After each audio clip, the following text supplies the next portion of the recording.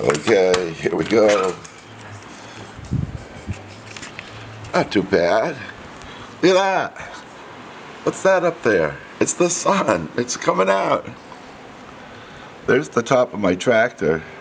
That's like seven feet up there. There's a big snowbank there. Look at this drift. Whoa. It's gusting. There's about a foot and a half, foot, maybe a little more. Okay, updates later.